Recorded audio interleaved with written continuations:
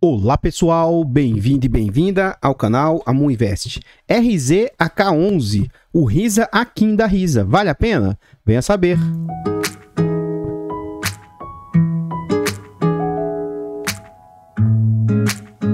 Então, pessoal, antes da gente saber mais a respeito desse fundo imobiliário, eu gostaria de pedir humildemente, por favor, deixa o like no vídeo e comenta para nós. E aí, você conhece esse fundo imobiliário? Sabe quem é a gestora? Sabe em que ele investe? Setor de atuação? Comenta aí que seu comentário é muito importante para o crescimento e desenvolvimento do canal. Compartilhe o vídeo com as pessoas que você conhece e nos ajude a levar conhecimento e educação financeira a mais pessoas. Like, comentário e compartilhamento é de graça, não custa nada e vocês vão nos ajudar imensamente. Temos o objetivo de tentar alcançar 10 mil inscritos se quiser nos ajudar, se inscreva no canal e ative o sino. Será que a gente vai chegar nos 10 mil inscritos? Será que a gente chega até o meio do ano, até o final do ano? Conto com a ajuda e colaboração de vocês. Tá gostando do canal e quer nos ajudar? Temos a opção de membro. Tornando-se membro, você vai fazer jus a vários benefícios. Custa 10 centavinhos por dia. 10 centavinhos por dia. Acho que isso não vai apertar vocês, mas pra gente faz muita diferença. Tornando-se membro, você vai ter vários benefícios, como acesso antecipado a vídeos, participa do grupo fechado do Telegram, tem é, preferência quando pede o vídeo, além de saber que está apoiando o canal. Muito obrigado aos últimos membros Rodrigo, Andréia, Luiz e Rafael. Esse vídeo foi uma sugestão do Bruno, ele falou, pode fazer uma atualização sobre o, sobre o RZAK? Obrigado. Tá aqui o vídeo que foi solicitado. Antes da gente ir para o vídeo propriamente dito, existe mais uma forma de apoio. É, a gente tem um objetivo de, até o final do ano, tentar se tornar um profissional do mercado. Eu quero ver se eu consigo tirar uma certificação CEA. Essa certificação é cara, é em São Paulo, teria passagem, hospedagem várias outras situações. Então, se quiser nos ajudar aí, abra uma conta na corretora Clear com o nosso link de indicação. Abrindo uma conta lá, você vai, é, a partir de 100 reais investidos, você vai, vai ganhar um bônus de 70 reais. Você ganha e a gente também ganha. Abra também uma conta no Mercado Pago ou PicPay com o nosso link de indicação. Abrindo a conta nessas contas digitais, a partir de valores pagos lá, você ganha e a gente também ganha. Então, se quiser fazer isso, ficarei imensamente grato. É, temos também uma forma de apoio direto. Me pediram para criar um apoio direto, eu criei o Pix do canal, amuinvest.gmail.com. Se quiser nos doar qualquer valor, qualquer valor mesmo, será muito bem-vindo e vai ajudar bastante. Vamos lá para o vídeo. Esse fundo imobiliário é um fundo de papel, é um fundo de recebíveis. Ele aqui não consta a data né, de IPO dele, mas a gente vai ver mais à frente. Ele é de base 100, a gestora é a Risa, ele é de títulos e valores imobiliários e tem uma alta liquidez aí de 2 milhões e 700 mil por dia. Os usuários do site não deram nota. Ele faz parte do IFIX com pouco mais de meio por cento e conta com mais de 3 milhões de cotas. Ele agora está sendo negociado ao seu PVP, bem próximo do seu valor justo. Está sendo negociado a um PVP de 0,99 ele tem um valor patrimonial aí ó, de 281 milhões e o mercado está aceitando pagar 278 milhões, ou seja, 1% de desconto está bem em linha ali com o que ele vale. Então, atualmente, as cotas do fundo estão valendo R$ 93,00 e o mercado está aceitando pagar R$ 92,00. Tendo o mês 1 como referência, é um fundo que conta com 6.800 cotistas. Neste slide a gente vê o quanto o fundo está sendo negociado, ó, 92,65, mas já teve mínima de 82 e máxima de 100. Vamos traçar a linha dos 100 reais, que é o quanto o fundo veio ao mercado aqui, ó.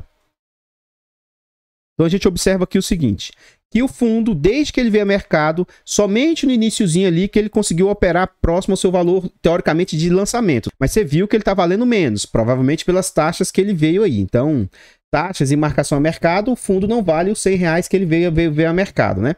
Então, somente no início que ele ficou operando, próximo ao seu valor, e aí depois, em março de 2021, como todo o mercado, março e maio, mais ou menos, o fundo começa a cair. Todo o mercado teve essa problemática.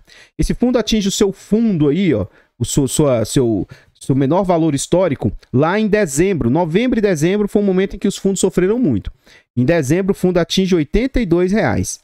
O fundo rapidamente recupera-se e começa a operar agora mais próximo ao seu VP. Teve uma pequena quedazinha agora em fevereiro, mas ele já voltou, entre aspas, a operar próximo ao seu VP.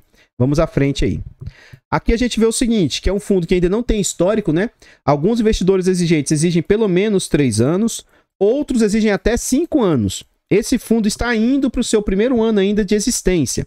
Então a gente vê que atualmente agora a gente vê umas entregas mais robustas. Vamos ver se ele vai conseguir se estabilizar nesse, nesses patamares aqui.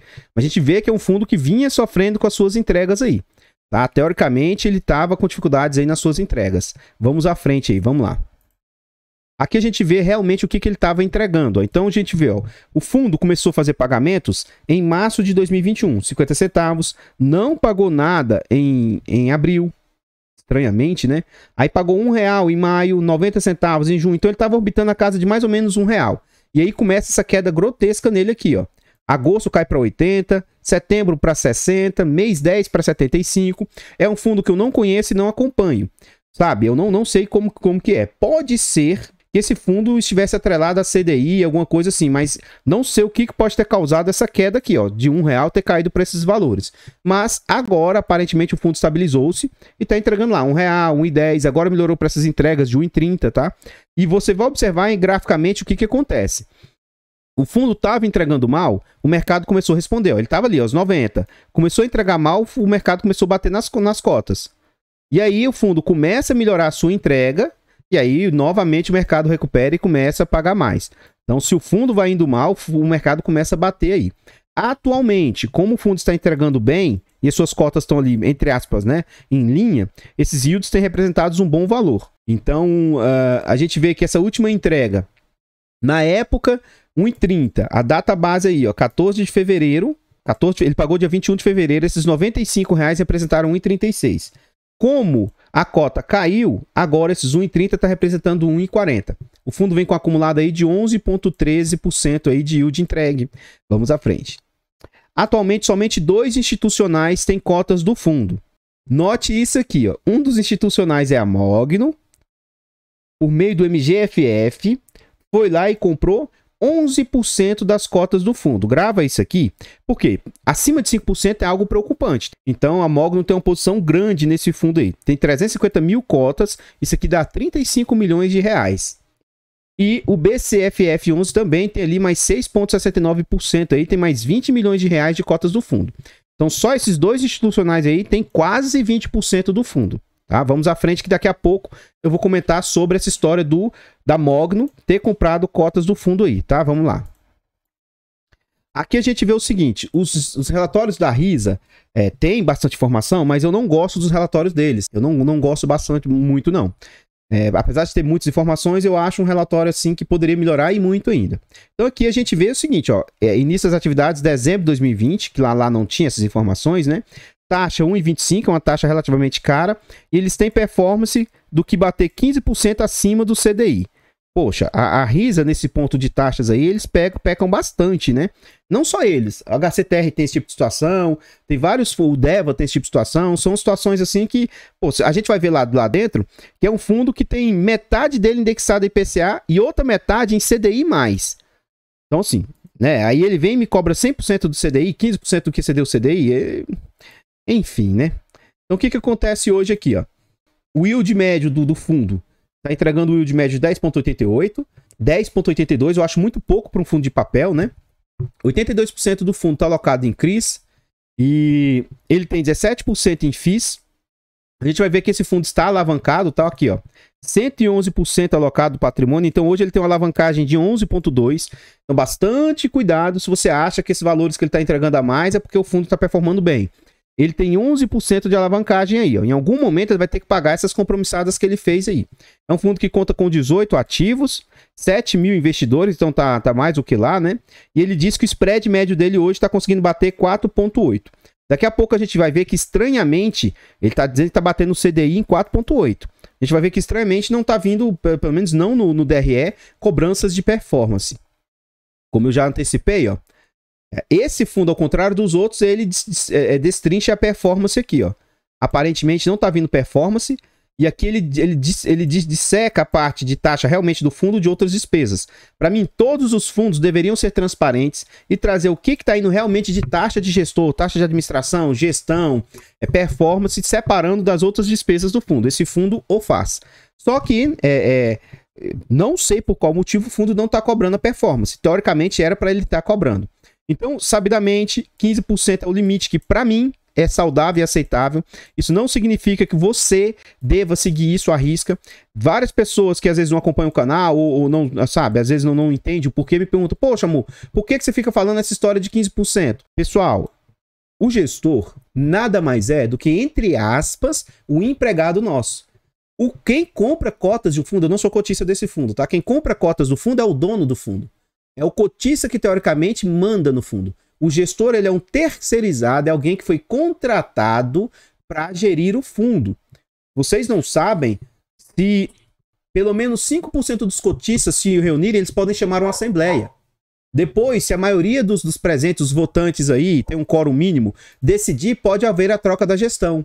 Então, o gestor não é o dono do fundo. Ele apenas gere e administra, assim como o administrador e tal tem suas co-obrigações co co aí, mas eles só estão ali para trabalhar para os cotistas. Então, poxa, esse pessoal trabalha para o cotista. Eu não acho justo que eles recebam mais de 15% para trabalhar para mim, para prestar um serviço para mim. Tem pessoas que se sentem confortáveis com isso, eu não sinto. Então, é mais essa questão assim, de quanto eu vou pagar para alguém fazer um trabalho para mim. Eu não acho justo. Gente, é, é 15% de um valor milionário. É uma taxa altíssima. É muito dinheiro. Eles merecem, porque eles são profissionais, eles trabalham. Mas é, eu não acho justo pagar caro. É só esse o ponto. Então vamos pegar aqui o segundo semestre de 2021 e desde o início. É um ponto muito negativo da gestora, eles só trazem semestralmente as despesas aí. Então vamos lá, ó. Um 0,18 vezes 100 dividido por 17,878. No, no segundo semestre aí, as despesas do fundo representaram 5,69, muito bom, abaixo dos 15%, mas desde o início aí vamos ver o quanto que as despesas estão representando aí, ó é, 2176 vezes 100. Desde o início, as despesas estão representando 7,38%, também taxas bem confortáveis. Acredito eu que se tivesse cobrando performance, esse valor saltaria bem, mas ainda assim acredito que não ultrapassaria os 15%, que seria o máximo que eu aceitaria pagar. Aqui ele fala, eu não vou ler tudo a fundo, mas ele fala, ao final de janeiro, o fundo apresentava alocação de 111%, 11% de alavancagem, até 10% eu, eu reputo ser uma alavancagem saudável. Então está extrapolando um pouquinho de alavancagem ali.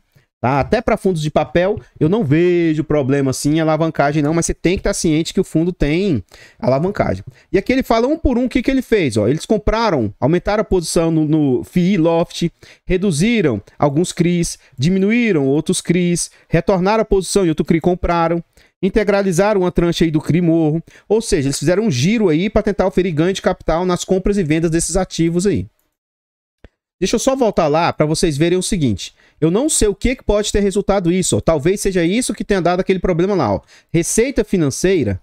A receita financeira do fundo foi negativa. Ó. No primeiro semestre ele teve lucro de 2, 2 milhões e 100, mas ele teve um prejuízo, eu não sei porquê, de 3 milhões e 800 no segundo semestre.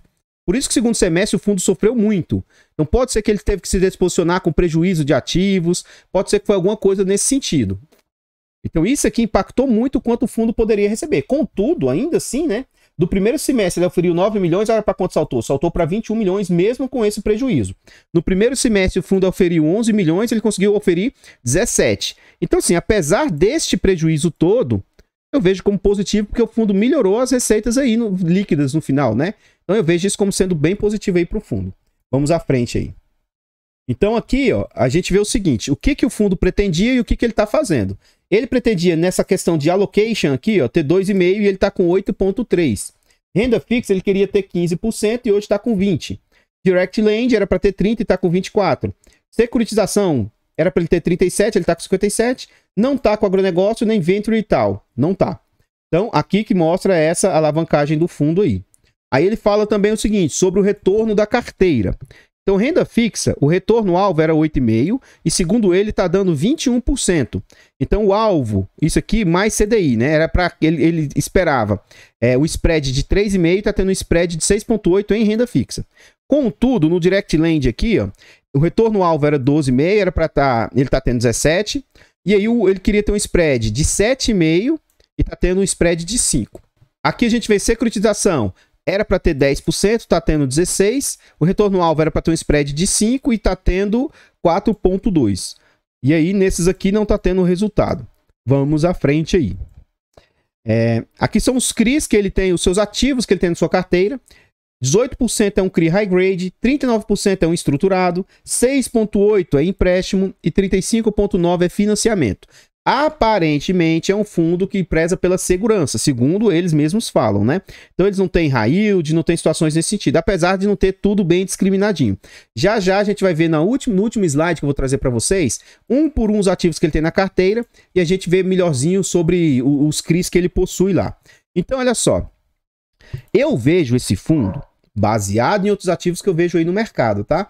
Ele tem hoje meio que 50% da carteira em CDI, 50% da carteira em PCA, e ele tem ali ainda um, uns quase 5% da carteira em pré de quase 15%. Então, todos esses índices aqui são bons. E olha o spread médio da carteira. É, acima, ó, CDI mais 4,7, IPCA mais quase 10.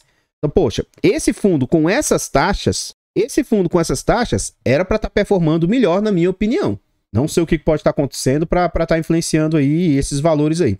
E aqui a gente vê esse mesmo indicador aqui em cima em forma de gráfico aqui. Vamos à frente. E aí, o que que acontece? Vamos lá, ó. 11% do PL está nesse crimorro aqui, ó. É, a taxa IPCA mais 12, duration de 2.6, ele tem CDI mais 3, CDI mais 4, IPCA mais 12, IPCA mais 10, CDI mais 5, IPCA mais 8, então, assim, apesar dele dizer que são CRIs high, high grade, as taxas são de high yield aí, né? Então, tem que saber aí. Ó. É, é, o ponto é, são cotas únicas. A gente não vê nenhuma cota subordinada ou cota mezanino. Então, esse é um ponto interessante, é cota única. Não necessariamente isso aqui é mais seguro do que essas subordinadas, mezanine e não, não necessariamente. O ponto é que a gente vê o seguinte, ó. Em termos de, de ativos, né? A gente vê que aparentemente são todos é, é CRIs corporativos. Então isso também pode ser que amenize o risco. Agora lembra lá atrás quando eu falei que o MGFF comprou bastante cotas desse fundo? Eles foram lá e retribuíram. Então ocorre muito isso. Se você observar bem, muito, muito, eles compraram lá ó, o MGLG. Eles vão e devolvem. Isso eles fazem, as gestoras fazem muito isso uns com os outros. Então o fundo comprou 3% do seu patrimônio, ou seja, 10 milhões de reais em cota do MGLG. Agora, será que ele comprou quando a cota estava cara ou ele comprou quando a cota estava barata, né? Isso é um ponto de atenção porque o MGLG está sofrendo bastante.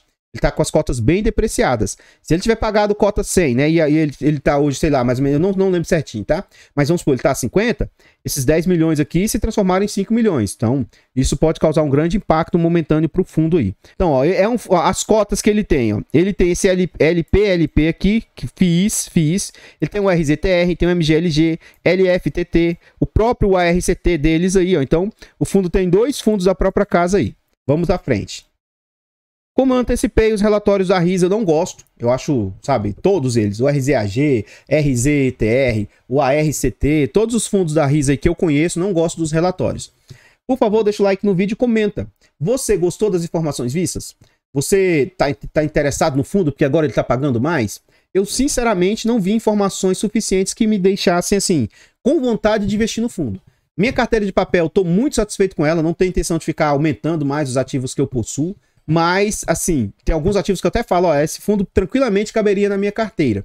Não vi nada de grave nesse fundo, mas, assim, pelos riscos, pelas situações, pelo assim, eu, particularmente, assim, para mim, eu não teria esse fundo. Mas isso é apenas uma posição minha, não quer dizer que tem algo gravíssimo para eu não me posicionar. Eu vejo muitos outros fundos muito mais diversificados, assim, com menos riscos que esse, na minha opinião, pela questão da diversificação, maiores e tal, com ganhos, assim, iguais ou superiores. Então, eu particularmente prefiro não, não, assim, não investir nesse fundo aí. Meu ponto de vista não é indicação de compra, venda ou manutenção do ativo. Por favor, compartilhe o vídeo, nos ajude a levar conhecimento e educação a mais pessoas. Se inscreva no canal e ative o sino para a gente tentar alcançar os 10 mil inscritos. Será que a gente chega até o meio do ano?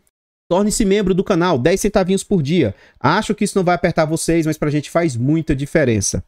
Abra uma conta na Clear, PicPay, Mercado Pago com nosso link de indicação. Você vai nos ajudar imensamente. Faça uma doação, doação de qualquer valor no Pix aí. Qualquer valor mesmo, isso também vai ajudar bastante o canal. Tá aí, Bruno. Espero que tenha gostado do vídeo. Espero que tenha ficado satisfatório. Eu vou ficando por aqui e eu espero encontrá-los nos próximos vídeos. Fiquem todos com Deus, tenham uma boa noite e fui!